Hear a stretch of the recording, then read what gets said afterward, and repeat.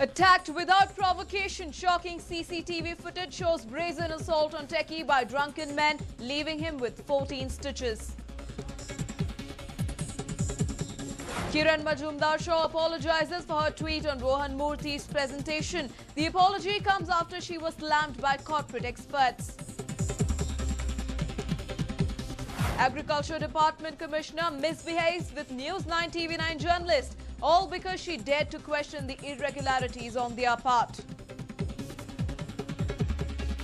BMTC starts new program to train drivers and conductors and women's safety is the priority in the training.